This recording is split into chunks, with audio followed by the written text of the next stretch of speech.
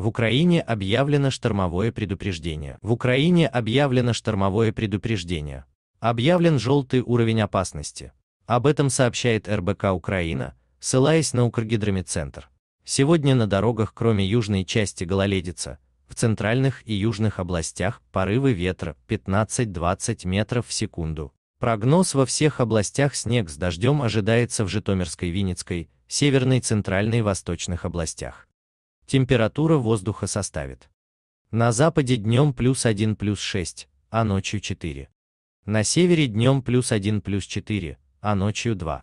На востоке днем плюс 2 плюс 4, а ночью минус 1 плюс 2. На юге днем плюс 6 плюс 8, а ночью 0 плюс 3. В центре днем плюс 1 плюс 6, а ночью 1. Напомним, ожидается, что на выходных 12 и 13 февраля в Украине немного похолодает. При этом в некоторых регионах прогнозируют осадки.